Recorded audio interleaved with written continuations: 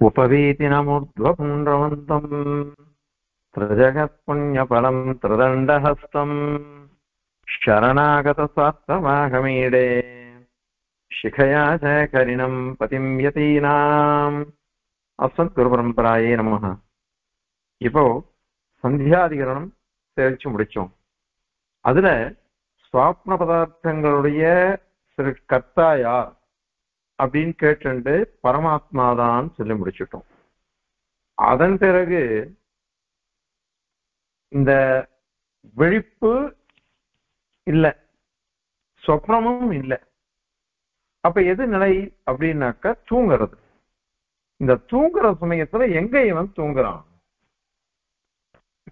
இவன் தூங்குறது எந்த இடத்துல அப்படின்னு இப்ப விசாரம் பண்ண போற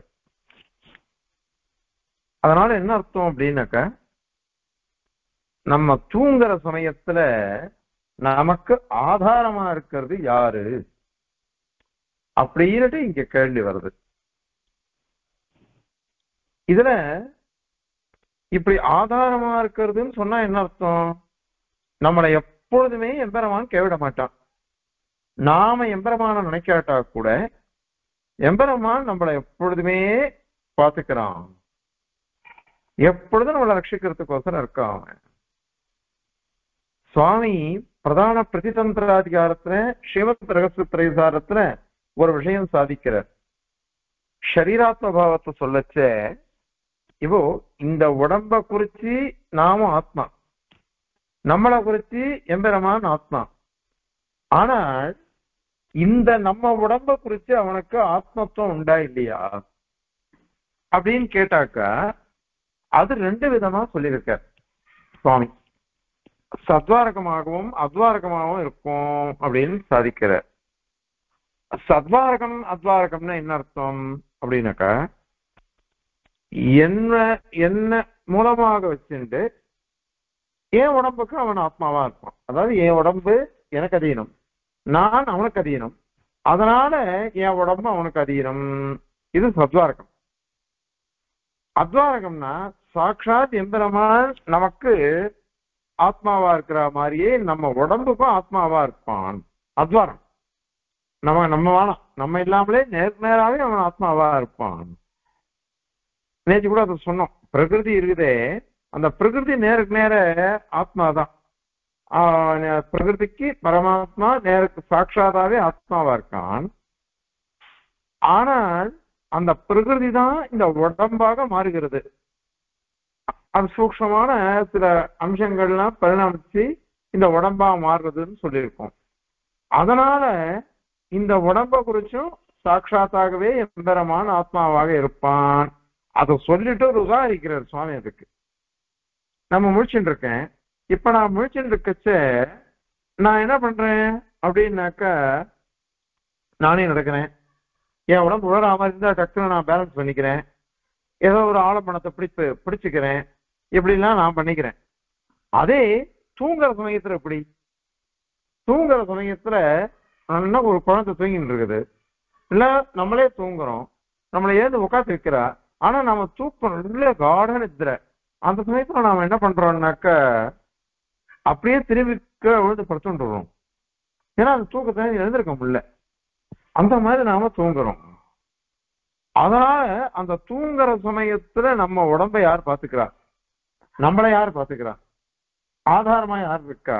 அப்படின்னா அவன் தான் சர்வேஸ்வரன் தான்.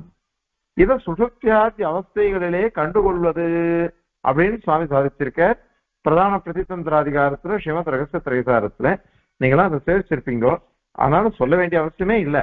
ஆனால் இந்த தூக்க நிலைன்னு ஒண்ணு இருக்கு இல்லையா?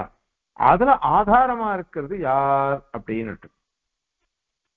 அதை கேள்வி வரச்ச அது சொல்ல முடியும். அதுக்கோசரம் எம்பெருமானே ஆதாரமாக இருக்கிறான் அப்படின்னு சொல்லப்பட்டிருக்கு இது எப்படி ஏன் இந்த மாதிரி விசாரம் பண்ணணும் அப்படின்னு கேட்டாக்க இந்த வாக்கியங்கள்லாம் விஷய வாக்கியங்கள்லாம் இருக்கு பாருங்க. அது என்ன பண்ணி எடுத்தோம்னாக்க இவன் தூங்குற சமயத்துல மூணு இடத்துல தூங்குறதா சொல்றக்கு மூணு இடத்துல தூங்குறான் இவன். ஒண்ணு தன்னுடைய நாடிகள் கொள்ளும். ஹிதா நாம நாட்யக அப்படின்னு இருக்கு. அதுக்கு பேரே ஹிதா அப்படின்னு பேர் அந்த நாடிகளுக்கு. அந்த நாடிகள்ல தூங்குறான். ஏன்னா தூங்குறது எல்லாருக்குமே பிடிக்க இல்லையோ? எல்லாருக்கும் ஹிதமா இருக்கு தூங்குறதுன்றது. அதனால அந்த ஹிதான்னு அதுக்கு பேரு. அந்த நாடிகள்ல அவன் தூங்குறான். அப்படின்னு ஒரு வாக்கியம் இருக்கு. அதே மாதிரியாக புரீததி ஷேதே அப்படின்னு ஒரு வாக்கியம் இருக்கு.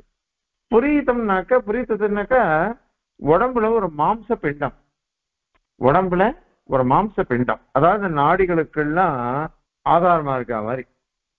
அதுல இவன் தூங்குறான் அப்படின்னு இன்னொரு வாக்கியம் இருக்கு. இன்னொன்னு என்ன சொல்றது? சதா சௌமிய ததா சம்பன்னோ பவதி அப்படின்னு ஒரு வாக்கியம். இந்த தூங்குற சமயத்துல எம்பெருமானோட சேர்ந்து இருக்கான் இவன். எம்பெருமானோட சேர்ந்து இருந்துருவான். அவனுடைய அவங்கிட்ட அதாவது அவங்கிட்ட தூங்குறான் இவன் அப்படின்னு இருக்கு. ஆக உபனிஷத்தே மூணு வாக்கியங்களை மூணு விதமான ஆதாரங்களை சொல்லிட்டு போயிடுச்சு. தூங்குற சமயத்துல நாடிகள்ல தூங்குறான். அந்த மாம்ச பிண்டமான புரீத்தத்தின் ஒண்ணு அதுல தூங்குறான். அதன் பிறகு பரமாத்மா அவனிடம் தூங்குகிறான் அப்படின்னு மூணு விதமான நிலைகளை சொல்லிட்டு போயிடுது. எங்கெங்க தூங்குறான் அப்படின்னு சொல்லிட்டு போயிடுது. இப்ப இந்த மூணும் ஒரே சமயத்துல வருமா? அல்லது விகல்பம். எங்க பிரச்சனை அப்படின்னா ஆத்து வாசல படுத்து தூங்கினா அல்லது மாடியில படுத்து தூங்கினா அல்லது ஆத்து கூடத்துல தூங்கினா அப்படின்னு சொல்றோம். அந்த மாதிரி மூணு விகல்பம். ஏதாவது ஒன்றுல எடுத்துட்டு போட்டுவேன். அப்படின்னுட்டு இருக்கு. இந்த மாதிரி கூட லோகத்துல உண்டோ இல்லையோ? ஆகையினால விகல்பம் பண்ணி சொல்லலாம் அப்படின்னு ஒரு பட்சம் விகல்பத்தினாலதான். இது விகல்பம் பண்ணி சொல்றதுன்றத ஒரு பட்சம் லோகத்துல அது உண்டு. சாஸ்திரக்காரர் வந்து இந்த மாதிரி நேற்று கூட சொன்னோம் பாருங்க.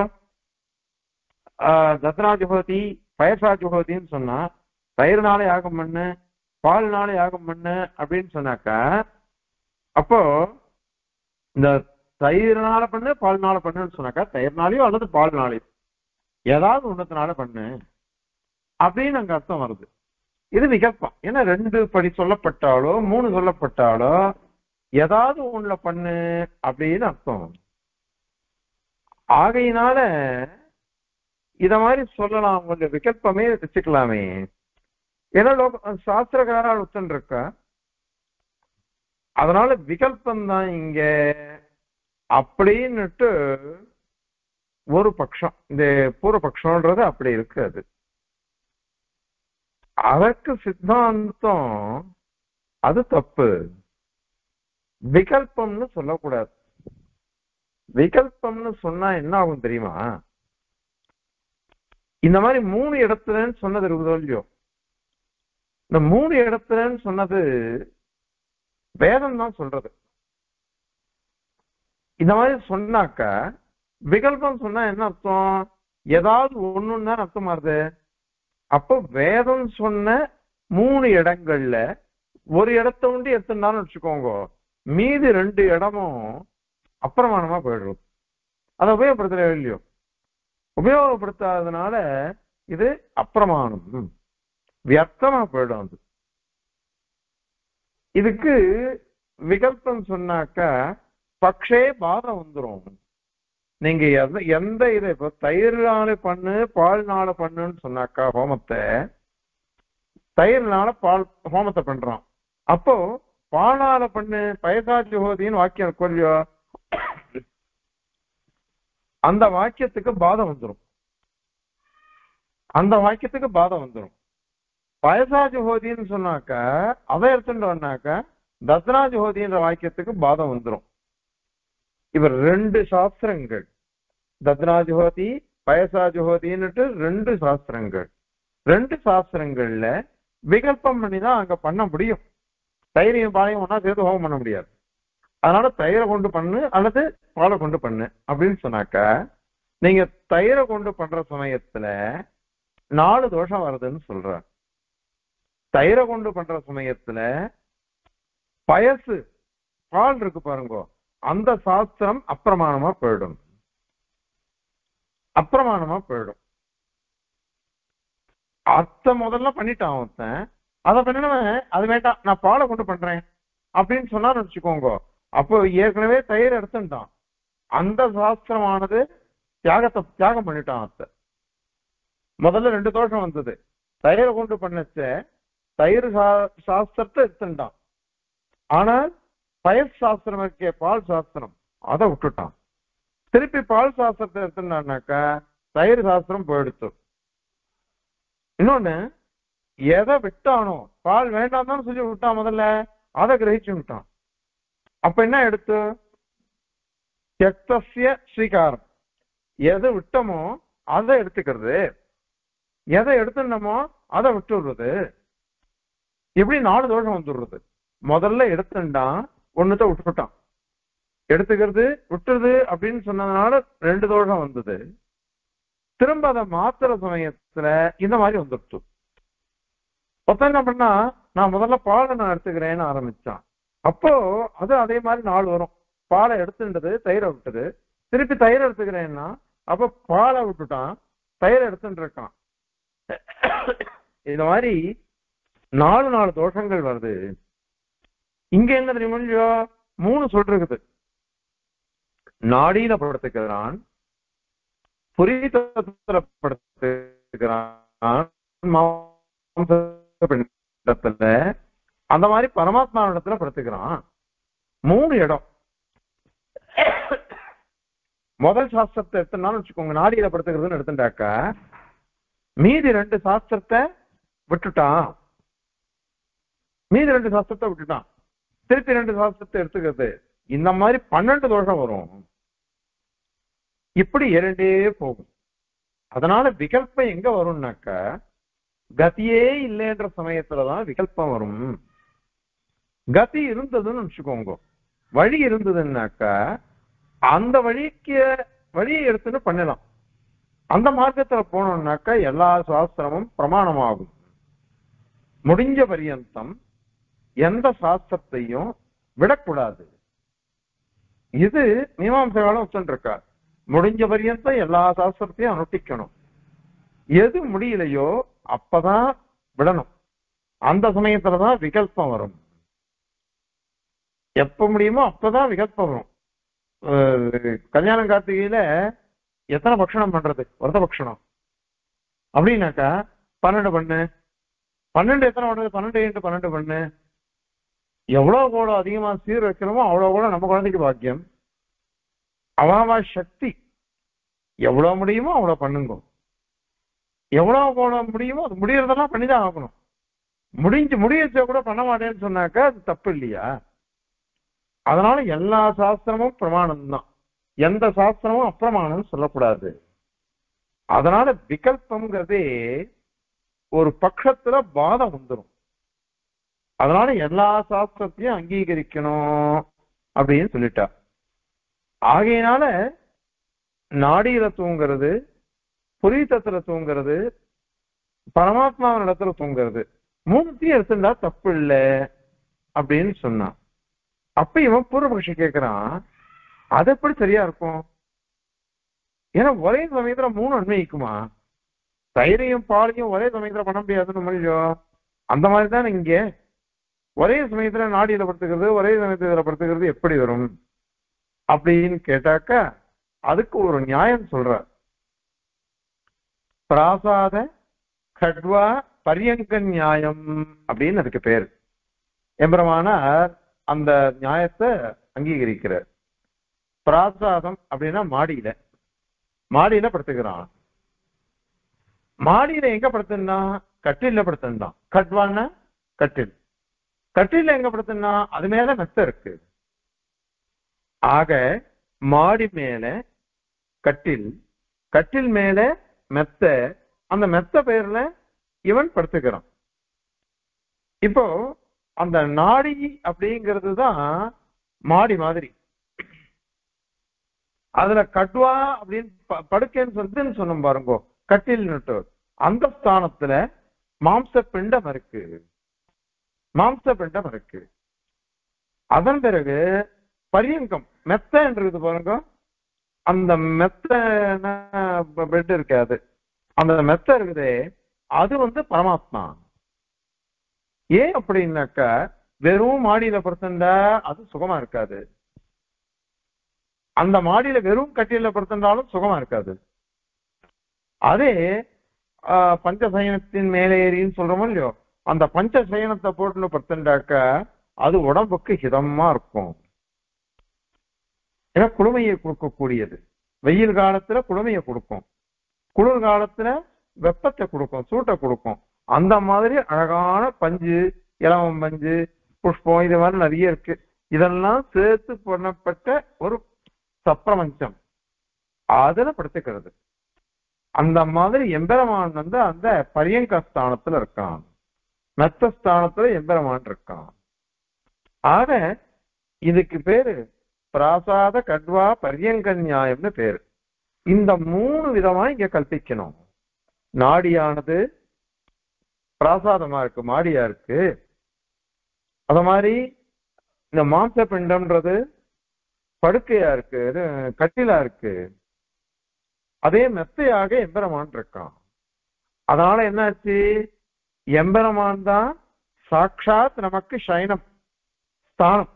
நாம தூங்குற இடம் எதுன்னாக்கா நேருக்கு நேரா அவங்ககிட்ட சம்பந்தம். நேருக்கு நேரா அவங்ககிட்ட சம்பந்தம் இருக்கு. அதனால தூக்க நிலையில ஆதாரமா இருக்கிறது யார் அப்படின்னு கேட்டாக்க எம்பெருமான் தான் ஆதாரமா இருக்கான். அதுக்கு சட்டில் மாடி இதெல்லாம் சேர்றது. அந்த மாதிரி நான் முதல்ல நாடி மாம்ச பிண்டம் அது மேல பெருமாள் இருக்க அந்த பெருமாள் எல்லாத்துக்கும் ஆதாரம் நமக்கும் ஆதாரமா எழுந்துள்ளிருக்கான் அதுல நாம படுத்துட்டு இருக்கோம். எப்படின்னு சொல்லிட்டோம்னாக்க விகல்பம்ங்கிறது இல்ல. விகல்பத்தினால வர தோஷம் இல்லை. அதே மாதிரி பக்ஷே பாதம் சொன்னோம் பாருங்க அந்த பாதமும் இல்ல. எல்லா சாஸ்திரத்துக்கும் பிராமான்யம்னு சொல்லிட்டோம். அதே மாதிரி எம்பெருமானே சர்வாதாரம். அனைத்துக்கும் ஆதாரமாக எம்பெருமானே இருக்கான் அப்படின்றதும் சித்திச்சு விடுறது. அப்படின்னு தெரிஞ்சுடுறது அது. அதனால இந்த மாதிரி ஸ்தானம் சுசுப்தி ஸ்தானமானது எம்பெருமான் தான் இருக்கான் அப்படின்னு தீர்மானமா சொல்றதுக்கோசரம் இந்த அதிகரணம் வந்தது. இதுல ரெண்டு சூத்திரங்கள் இருக்கு. அந்த ரெண்டு சூத்திரங்களோட இந்த தீபஸ்ரீ சூக்திய இதை சேவிக்கலாம். அது சேவிச்சோம்னாக்க அர்த்தம் சரியா புரியும். ததபாபூனாடீஷு தச்சுதே ஆத்மனிச்ச அப்படின்னு சூத்திரம்.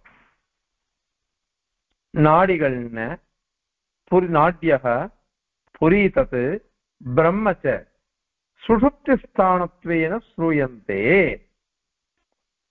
சுஷுப்தின்னா தூங்குறதுன்னு அர்த்தம். தூங்குறதுக்கு ஸ்தானம் எது? இருப்பிடம் எது? அப்படின்னுட்டா மூணு சொல்றதுக்கு. நாடிகள் இந்த புரீத்தத்து பிரம்மம் அப்படின்றது சொல்றது இங்க. வேதத்துல அங்கங்க சொல்றக்கு. கிம் ஏஷாம் விகல்பக உத சமுச்சய இது இவைகளுக்கெல்லாம் விகல்பம் தானா? அல்லது சமுச்சயமா?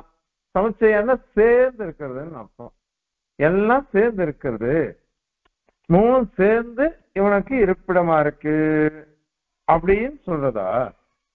அப்படின்னு கேள்வி வருது. சந்தேகம் வருது இதுல. பூர்வபக்ஷி சொல்றான் விகல்ப இது பூர்வபக்ஷ விகல்பந்தான் அப்படின்னு பூர்வபக்ஷி சொல்றான். அந்த வாக்கியம் இருக்கு. தது எத்திர ஏதது சுத்தः சமஸ்தः சம்பிரசன்னः சொப்னம் ந விஜானாதி. இந்த ஜீவன் இருக்கானே ரொம்ப அவனுக்கு வந்து இது வந்துடுத்து. விஷ் ரொம்ப களைப்பு வந்துடுத்து. ரொம்ப களைச்சு போய் விசிராந்தி பண்ணிட்டா போறோம் ஓய்வு எடுத்துட்டா போறோம் அப்படின்னு சொல்லிட்டு சம்பிரசன்ன அவனுக்கு குழப்பமே இல்லை. மனசு இன்னும் நல்லா அடிச்சு போடாம தூங்கினோம்னு வச்சுக்கோங்க. ஆனா எழுந்துனோண்டாக்கா சுகமா இருக்கும். ஒரு இது இல்லாம குழப்பம் இல்லாம நல்லா நிம்மதியா இருக்கும். அப்ப எப்படி இருப்பான் சொப்னம்னா விஜானாதி. சொப்னத்தையே பார்க்க மாட்டான். சொப்னமே அவன் வராது எதுவுமே. சொப்ன ஞானமே வராது. அப்ப சொப்னம் இல்லைன்னா காட நித்ரன்னு அர்த்தம். ஆழ்ந்த உறக்கம். அப்போ ஆசு. ஆசு ததா நான் ததா. அப்பொழுது ஆசு நாடிஷு. இந்த ஹிதா அப்படின்ற ஒரு நாடிகள். அந்த நாடிகள்ல சிருப்தோ பவதி. அதெல்லாம் நல்லா தூங்கின்னு இருக்கான் அப்படின்னுட்டு ஒரு வாக்கியம் சொல்றது. இது நாடிகள் இவனுக்கு சுழுப்தி ஸ்தானமா இருக்கு அப்படின்னு சொல்றதுக்கு வந்த வாக்கியம் இது. இது சாந்தோக்கியத்துல இருக்கு. அதன் பிறகு பிரகதாரணிகத்துல ஒரு வாக்கியம் இருக்கு. அதுல என்ன சொல்றது? அத எதா சுஷுப்தோ பவதி? எதான கஷ்ட ஜனவேத? எப்ப இவன் தூங்குறானோ அப்போ எந்த விஷயத்தினுடைய ஞானமும் இல்லை அவனுக்கு. எதையுமே அறிஞ்சிக்கிறது இல்லை அப்போ அது என்னது? ஹிதானா மனாத்யா துவாசப்ததி சகசிராணி எழுபத்தி ரெண்டாயிரம் நாடிகளாம் அது? துவாசப்ததி. எழுபத்தி ரெண்டு சகசிரங்கள் ஆயிரம் எழுபத்தி ரெண்டாயிரம் நாடிகள். அதுக்கு ஹிதா நாடிதான் அதுக்கு பேர் அதுக்கு. ஹிருதயாத் புரீததம் அபிப்பிரதிஷ்டந்தே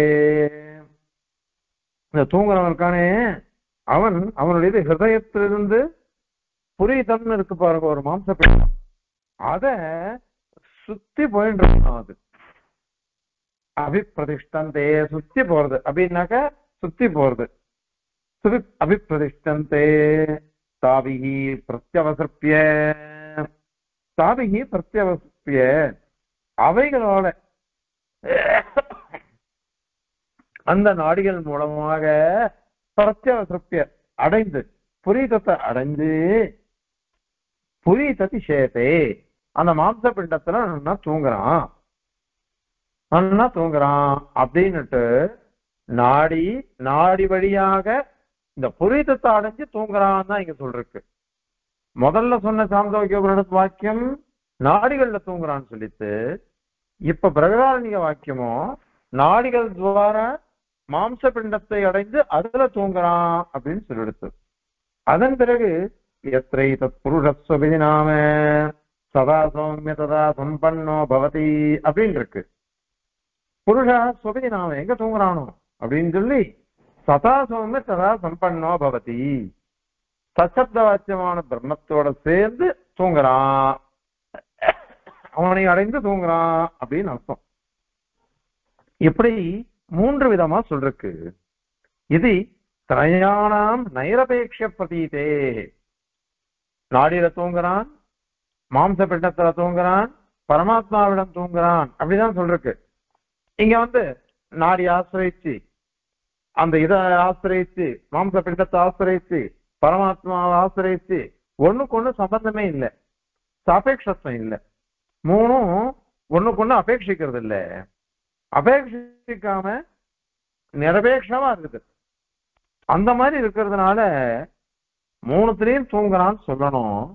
ஆனால் ஒரே சமயத்துல மூணுத்திலையும் தூங்குறான்னு சொன்னா விரோதம் வந்துடும் விரோதம் வர்றதுனால ஏதோ ஒண்ணுத்துல தூங்குறான் விகல்பம் பண்ணிக்கலாம்.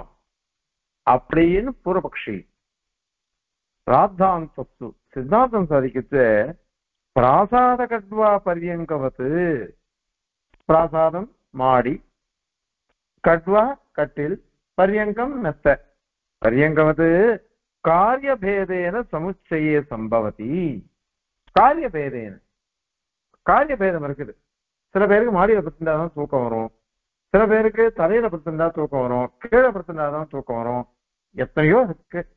அதனால ஒவ்வொன்றுத்துக்கும் ஒவ்வொரு காரியம் இருக்கு. மாடியானது மேல இருக்கு. கீழ்தளத்துல இருந்து மேல் தளம் மாடி அது என்ன பண்றது? அங்க கட்டில் போட்டாக்கா அந்த கட்டில அது தாங்கிறது. அந்த கட்டிலுக்கு மெத்த வந்து ஆதேயமா இருக்குது அத மாதிரி காரிய பேதாது ஒவ்வொன்றுத்தனுடைய காரியம் வேற வேறையா இருக்கு. அதனால சமுச்சையே சம்பவத்தி சேர்ந்து வருது மூணுமே. மூணுமே இங்க உனக்கு தூங்குற ஸ்தானம் தான் ஆனா காரிய பேதம் இருக்கு. மூணுத்திலையும் தூங்கல இவன். மாடி மாடி மேல கட்டில் கட்டில் மேல மெத்த மெத்த மேல இவன் தூங்குறான். அவ்வளவுதான். அது மெத்த மேல தூங்குறான்றது தான் உண்மை. அதுதான் சாட்சாத்து சைனஸ்தானமா இருக்கு. மீதி ரெண்டும் ஒண்ணுக்கு ஒண்ணு ஆதாரமா இருக்கு அவ்வளவுதான். அதனால சமுச்சய சம்பவதி சமுச்சயம். ரெண்டு மூணு சேர்ந்து இருக்கிறதுன்னு சம்பவிக்கச்ச. பாக்ஷிக பாத கர்ப்ப விகல்பகா. பாக்ஷிக பாத கர்ப்ப. ஒன்னு ஒரு சாஸ்திரத்தை விட்டுண்டா இன்னொரு சாஸ்திரத்துக்கு பாதத்தை சொல்லணும். பாதிதமா போயிடும் அப்பிரமாணமா போயிடும். அந்த அந்த சாஸ்திரத்துக்கு அப்பிரமாணம் பண்ணி போயிடுச்சுனாக்கா அப்ப வேதம் நமக்கு சொன்னதே வியர்த்தமா போயிட முடியும் அதனால பாக்ஷிக பாத கர்ப்ப பாக்ஷிக பாதத்தை உடைய விகல்பமானது ந யுக்த. அது சரி என்ன இது சமுச்சயோ நியாய சேர்ந்து இருக்கிறதுன்றதுதான் சரி. அதனால இப்ப என்னாச்சு? தத்தன பரியங்கானியம் பிரம்ம. பரியங்கம் மெத்த பரியங்க வித்யின்னு கௌடேரிக உபநிட சொல்றது பரியங்கா ரோகணாந்தாம் பஜதி அப்படின்னுட்டு பிரம்ம சம்வாத தஞ்சான் சராடு சாய்க்கிறார் சுவாமி. அதனால பிரம்மமானது பரியங்க ஸ்தானத்தை உடையதா இருக்குது. பரியங்கிற ஸ்தானத்தை உடையது பிரம்ம. அந்த ஸ்தானத்துல பிரம்ம இருக்கு. ஏன்? எதக? பரியங்கவத்து சாட்சாத் பிரம்ம சுபக்தி ஸ்தானம். அதனால சாட்சாத்து பிரம்மந்தான் பரியங்கம் மெத்தையில தானே நம்ம பிரச்சனை தூங்குறோம். கட்டில் மேல மெத்த இருக்கு. கட்டிலுக்கு நம்ம சம்பந்தம் நேர் சம்பந்தம் இல்லை. மெத்த துவாரா தான் நமக்கு சம்பந்தம் இருக்கு. அதனால நேர் சம்பந்தம் இதுதான் இருக்குது. அப்படின்னு இங்க அர்த்தம் அது? அதனால பரியங்கவது சாட்சாத் பிரம்ம சுடுப்தி ஸ்தானம். பிரம்மம் தான் சுடுப்தி ஸ்தானமா இருக்குது. இன்னொன்னு மூணுத்துக்கும் ஒரே காரியம் ஒரே பிரயோஜனம் சொன்னோம்னு வச்சுக்கோங்க. அப்பதான் விகல்பம் சொல்ல முடியும். முன்னாடி சொன்ன பாருங்க தயிர் பால். தயிரை கொண்டு அக்னிஹோத்திரம் பாலை கொண்டு அக்னிஹோத்திரம்னாக்க ரெண்டும் ஒரே காரியம்தான். அக்னிஹோத்திர ஹோமத்தை பண்றதுக்கு தயிர் உபயோகமா இருக்கு பால் உபயோகமா இருக்கு. ஆனா ரெண்டுத்தையும் ஒரே சமயத்துல உபயோகப்படுத்த முடியாது. ஆகையினால ரெண்டும் ஒரே காரியத்தை சாதிக்கிறதுனால ஏதாவது ஒண்ணு இருந்தா போதும்னு சொல்ல முடியும். ஆனா இங்க மூணுத்துக்கு அப்படி இல்லையே. மூணுத்துக்கும் ஒவ்வொன்று ஒவ்வொரு பிரயோஜனம் வருது. அதனால மாடியில கட்டில மெத்தையில அப்படின்னு சொல்லணும் அது. அதனால நாடியில அந்த புரி மாம்ச பிண்டம் இருக்கு. அந்த மாம்ச பிண்டத்துல பிரம்மம் அதுல இவன் தூங்குறான் அப்படின்னு சொல்ற அர்த்தம் சரியா போயிடுது. அப்படின்னு இங்க சாதிக்கிற. அதனால சுசுப்தி ஸ்தானம் எதுனாக்கா பிரம்மன் தான் மீதி ரெண்டும் அதுக்கு உபயோகப்படுறது அவ்வளவுதான். அதனால எந்த தோஷமும் இல்லை. சமுச்சயம் சொல்றதுதான் சரியா இருக்கு. காரிபேதா அப்படின்னு சித்தாந்தம் சாதிக்கிறார் இவன் சூத்ரார்த்தம் சூத்ரார்த்தம் என்ன? அப்படின்னாக்கா ததபாவகா முதல்ல சந்தியே சிருஷ்டிராசகி அப்படின்னு சொல்லிட்டார். அதுல சந்தியம்னாக்கா எதுவும் இல்லாமதுனா நடுவுல இருக்கிறது சொப்னத்தை காடுறதுன்னு அர்த்தம் சொல்லிட்டோம். ததபாவக இந்த தச்சப்தம். இந்த புரோணம்னு இங்கிலீஷ்ல சொல்றாங்க இல்லையோ? இதெல்லாம் சர்வநாம சப்தங்கள் அப்படின்னு இதுக்கு பேரு. சர்வநாம சப்தங்கள்லாம் என்ன பண்ணும் அப்படின்னாக்க முன்னாடி எதை சொன்னோமோ அதை பராமரிசிக்கும் பூர்வ பராமரிசின்னு பேரு. அது எப்படி அப்படின்னாக்க ராமஹா தசரதஸ்ய புத்திரஹ சஜ சீதாயாக பதிஹி அப்படின்னு சொன்னோம் இப்ப ராமஹா தசரதஸ்ய புத்திரக ராமன்றவன் தசரதனுடைய பிள்ளை சஜ சீதாயாக பதிஹி அவனும் சீதையினுடைய பத்தா இப்ப சஜன்றது ராமனை தான் சொல்றது அது. அத மாதிரி ததபாவ முதல்ல சொன்னது சொப்னாவஸ்து சொல்லியா எடுத்து. அதனால சொப்பனம் இல்லாதது இல்லாத ஸ்திதி அப்படின்னு அர்த்தம். ததபாவக அப்படின்னா சொப்னாபாவ. சொப்னம் இல்லாதது. அது எது? சுஷுப்திகி தூக்கம் சுவாபம் அப்படின்னு அதுக்கு பேரு. அதனால சுஷுப்திகி இத்தியர்த்த தூங்கிறது. அப்போ சுஷுப்திகி அந்த தூங்குறதானது? நாடிஷு நாடிகள்லையும் ஆத்மனி பரமாத்மாவிடத்திலையும் அப்படின்னு சொல்லிடுச்சு இப்ப புரி நீங்க இல்லையே அப்படின்னாக்கா அங்க ச அப்படின்னு இருக்கு. ஆத்மனி ச அப்படின்னு. ச அப்படின்னு சொன்னதுனால அந்த சச சகாரத்தினால இந்த புரித்ததுன்றது சொல்லப்படுறது. ஏன்னா ஸ்ருதி அதை சொல்லிடுச்சு. வேதமே அதை சொல்லிட்டதுனால சசப்தத்தினால இது கிரகிக்கப்படுறதுன்னு அர்த்தம். சகாராத்து புரீததிச்ச ஏன் தத் ஸ்ருதேஹ ஸ்ருதி சொல்லிடுத்து. ஸ்ருதி சொல்லிட்டாக்கா அதை நம்மளால மீற முடியாது. பிரயாணம் சுழுப்திஸ்தானத்துவ ஸ்ருதே இந்த மூணுத்துக்குமே சுழுப்தி ஸ்தானத்துவமானது படிக்கப்பட்டிருக்குது. அதனால முக்தேன நியாயேன. பிராசாத கட்வா கட்வா பரியங்க நியாயம் சொன்னோம் இல்லையோ? அந்த நியாயத்தினால சமுச்சயோ நியாய அபிப்பிராய சமுச்சயம்தான் சரி அப்படின்றது இங்க நியாயம். இதுதான் சரின்றது திருவுள்ளம். சூத்திரக்காரருடைய திருவுள்ளம் இதுதான். அதனால மூணுமே இங்க சுடுக்தி ஸ்தானமா இருக்கு. ஆனால் காரிய பேதம் இருக்கு. சாட்சாத் சுடுக்திக்கு ஆதாரமா இருக்கிறது யாருன்னாக்க எம்பெருமான் தான். அதனால அது ஒரு கல்யாணமா வருது அது. கல்யாண குணமா வருது. அதிகரணசாராவில் சுஷுப்தி ஆதிருதிகி அப்படிங்கிற தூக்கத்துக்கு ஆதாரமா இருக்கிறவன் எம்பெருமான் அப்படின்னு அங்க கல்யாண குணமா சாதிச்சிருக்கார் சுவாமி. அதனால இது அபிப்பிராயம். அது மாத்திரம் இல்ல அடுத்த சூத்திரத்தினால ஒரு விஷயம் சாதிக்கிறார். என்ன அப்படின்னா மொத்தம் தூங்கினான். தூங்கறத என்ன பண்ணா? சதா சௌமிய ததா சம்பன்னோ பவதி அப்படின்னு அங்க சொல்றேன் அந்த சச்சப்த வாக்கியமான பிரம்மத்தோட சேர்ந்து இருக்கான். அங்கதான் தூங்குறான். ஏன்னா ஓய்வு எடுத்துக்கிறான்? எம்பிரமான் கிட்டதான் அப்படின்னு இருக்கு அதன் பிறகு ஒரு வாக்கியம் இருக்கு. சத ஆகமிய ந விதுகு சத ஆகச்சாமகே இது. இவன் வந்து எங்க போய் தூங்கினான்? பெருமாள்கிட்ட போய் தூங்கினான். ஆனா எழுந்து வரச்ச நான் பரமாத்மா கிட்ட தான் நிம்மதியா தூங்கினேன். அப்படின்னுட்டு இவனுக்கு தெரியறது இல்லை தெரியறது இல்லைன்னு இருக்கு அப்ப என்ன அர்த்தம்? தூங்கினதும் எம்பெருமானிடத்தில் எழுந்து வந்ததும் எம்பெருமானிடத்தில் தான் எழுந்து வந்தான். எம்பெருமானிடத்தில் தான் தூங்கினான். அங்கேருந்து எழுந்து வந்தது கூட அவன்கிட்ட இருந்தான். அப்படின்னு தெரியறதோ இல்லையோ? அதனால எவனிடத்தில் இவனுக்கு பிரபோதம் உச்சதி எழுந்திருக்கிறதுன்னு வந்ததோ அந்த காரணத்தினாலேயே இவன் வந்து சுஷுப்தி ஸ்தானமா இருக்கிறது பரமாத்மா தான் அப்படின்னு அர்த்தம் அது. அதனால எந்த காரணத்தினால அசகான் இருக்குது. சூத்தத்துல அத பிரபோதோ அஸ்மாத் அப்படின்னு இருக்குது. அஸ்மாத். இவனிடத்தில் இவனிடத்துல எதனா எதக அப்படின்னு சேர்த்துக்கணும்.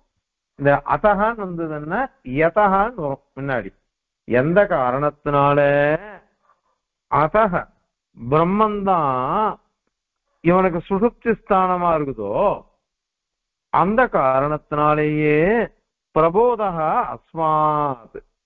பிரபோதக. விழிச்சுக்கிறதுங்கிறது விழிப்பு வருதே எழுந்துக்கிறது தூக்கத்துல இருந்து எழுந்துக்கிறதுன்னு இருக்குதே. அவங்கிட்ட அஸ்மாத்து பிரம்மத்திட்டமே பிரம்மத்துக்கிட்ட இருந்துதான் இவனுக்கு விழிப்புங்கிறதே வருது அதனால எந்த காரணத்தினால எம்பெருமான் இவனுக்கு சுசுப்திஸ்தானமா இருக்கானோ அந்த காரணத்தினாலதான் அவனிடமிருந்தே விழிப்பை அடைகிறான். அப்படின்னு இங்க வருது இந்த சூத்திரத்தினால சொல்லப்படுறது. அதனால தூங்குறதும் எம்பெருமானிடத்தில் தூங்கி எழுந்து வரதும் எம்பெருமானிடமிருந்துதான் அப்படின்னு சித்திக்கிறது. அத பிரபோத அஸ்மாத் அஸ்மாத் பிரம்மண பிரபோத ஸ்ருதி அதையேவ உபபத்தியதே. அவங்கிட்டேந்து அவன் அவன் வந்து சுழுப்தி ஸ்தானமா இருந்தா தான் அவங்கிட்டேந்து அவன் எழுந்து வரான் அப்படின்றது பொருத்தமா இருக்கும். இதாத போனாக்கா இங்க பத்துட்டு அங்கே இருந்து வரானே அப்படின்னு சொன்னாக்கா தப்பா போயிட முடியும் அதனால் தூங்குற இடமும் ஒரே இடம் எழுந்து வர்ற இடமும் ஒரே இடம். அந்த காரணத்தினால எம்பெருமானே சுழுத்திய ஸ்தானம் அப்படின்னு தீர்மானமா இங்க சாதிக்கிறார். அத பிரபோதோ அஸ்மாத் அஸ்மாத் பிரம்மணா பிரம்மத்திடமிருந்து பிரபோத ஸ்ருதி எழுந்து வர்றதுன்றது வீழ்ச்சிண்டு வர்றதுன்றது அதையேவ உபபத்தியதே. அவன் சுழுக்தி ஸ்தானமா இருந்தாதான் பொருத்தமா இருக்கும். ஏன்னா அந்த ஸ்ருதி இருக்குது. சத ஆகமிய ந விதுகு எம்பெருமானிலிருந்து எழுந்து வரா தூங்கிட்டோ. ஆனா ந விதுகு அவ அறிந்து கொள்வதில்லை. என்னன்னு? சத ஆகச்சாமகே இதி. சுரியதே சத்துக்கிட்ட இருந்துதான் சச்சப்த வாக்கியமான பிரம்மத்துக்கிட்ட இருந்தா நம்ம தூங்கி எழுந்து வரோம். அப்படின்னு தெரிஞ்சுக்கிறது இல்ல அப்படின்னு இது சுயத்தை இது வேதத்திலேயே சொல்லப்பட்டிருக்கு ஆகையினால சுடுப்தி ஸ்தானம் எதுனாக்கா பரமாத்மா தான் அதனால இது பெரிய கல்யாண குணம். இப்போ தூங்குறதுன்றது என்னது? அப்படின்னா இந்திரியங்கள் உடம்பு எல் பிராணன் எல்லாமே களைச்சு போயிருக்கு. களைச்சு போறதுன்றது ஏன் வந்தது? பெருமா இந்த தேவதைகளுக்கு எல்லாம் இமையவர்கள்னு பேரு. ஏன்னா அவன் தூங்கவே மாட்டான்னு சொன்னோம். நேற்று கூட பார்த்தோம். அதனால இந்த இது இருக்கே எ- களைச்சு போறதுன்றது எதனால வந்தது? இந்த உடம்பு சம்பந்தத்தினால. அது கூட கர்ம விஷயமா போயிட்டதுனாலதான். அப்படி வரவே நமக்கு என்ன ஆகுதுனாக்கா களைப்பு வந்து ஓய்வு எடுக்கிறோம். அந்த மாதிரி களைப்புன்றதே அவனுக்கு கிடையாது. எம்பெருமானுக்கு களைப்புன்றதே கிடையாது. ஏன்னா அவன் நித்திய சுத்தன். அதனால திவ்யாத்ம ஸ்வரூபமும் திவ்யமங்கல விக்கிரகமும் திவ்ய கல்யாண குணங்களும் உடையவனா இருக்கிறதுனால இந்த களைப்புன்றது கிடையாது. அதனால அவனுக்கு தூக்கம்ன்றதே கிடையாது. ஆனா தன்னுடைய தாயார் என்ன பண்ணுவா? தனக்கு உடம்பு முடியறதோ முடியலையோ தன் குழந்தைக்கு களைச்சி விளையாட்டு விளையாட்டு வந்ததுன்னா அதை மடியில ஒட்டுன்னு தூங்க பண்ணுவாள் இல்லையோ? அந்த மாதிரி எம்பெருமான் என்ன பண்றான்னா தன் இடத்துல தூங்க பண்றான். பத்திரமா ஜாக்கிரதையா பாத்துக்கிறான் ஆகையினால இது இங்க இந்த சுழுத்தி ஆதாரம். களைப்பெல்லாம் இல்லாதனால அதுக்கு எதிர்த்தட்டு களைப்போட கூடின ஜீவனை காட்டிலும் ஹேய பிரச்சனைகளாக எம்பெருமான் எழுந்துள்ளிருக்கான் அதே மாதிரி சுழுப்திக்கு ஆதாரமாக எழுந்துள்ளிருக்கான் எம்பெருமான். அப்படின்னு ஒரு திருக்கல்யாண குணம் சொல்லப்பட்டது. உபயலிங்கத்துல ரெண்டாவது ஏய பிரச்சனைகத்துன்றது இங்க சொல்லப்படுறது இது. அப்படின்னு இந்த அதிகரணத்தினுடைய சாரம். அஸ்வத் குருபரம்பிராயே நமக